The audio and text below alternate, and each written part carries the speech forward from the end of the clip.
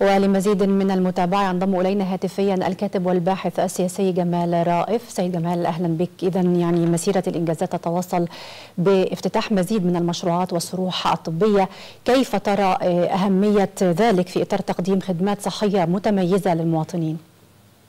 تحياتي لحضرتك وتحياتي لكل السادة المشاهدين. هذا هو الحلم المصري الذي في انتظاره ويتحقق الآن بخطوات جدية وبإرادة سياسية وبانجازات على أرض الواقع منظومه التامين الصحي الشامل والتي هي في الحقيقة يعني تعد من أحد أهم أركان بناء الإنسان المصري. الآن هي في طريقها للظهور إلى النور والتحقق الكامل إن شاء الله بعد أن يعني وجه الرئيس أيضا بخفض معدلات التنفيذ ب 10 سنوات فقط. أعتقد إن نحن بصدد مشروع قومي لبناء الانسان منظومه التامين الصحي الشامل أحد أهم أركانه. بنتحدث اليوم نحن نرى طرحا طبيا عملاقا كبير جدا يليق بتحديات الدولة المصرية في هذا المجال. وأيضا يليق بكرامة وصون كرامة المواطن المصري. وهنا نتحدث عن حقوق الإنسان الحقيقية، حقوق الإنسان التي تحقق رغبة المواطن المصري، تحقق متطلباته في رعاية صحية وكرامة إنسانية، وبالتالي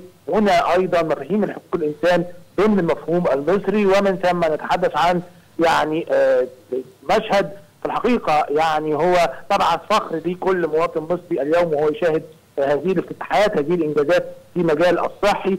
خاصة إن نحن نتحدث عن ظرف استثنائي يعني في ظل جائحه في ظل إن كبرى منظومات الرعاية الصحية في العالم تتعرض ل يعني اضطرابات وفي بعض الأوقات كانت تنهار بل مصر في هذا الوقت الصعب بتنشئ منظوماتها الصحية وبتشيد منظومة صحية على أعلى مستوى. نعم أستاذ جمال يعني الرئيس عبد الفتاح السيسي خلال مداخلاته تناول قضية في منتهى الخطورة وهي الزيادة السكانية وقد حذر سيادته وشدد على ضرورة ضبط ضبط الزيادة السكانية لتحسين الأحوال المعيشية بشكل عام برأيك يعني على من تقع المسؤولية في هذه القضية؟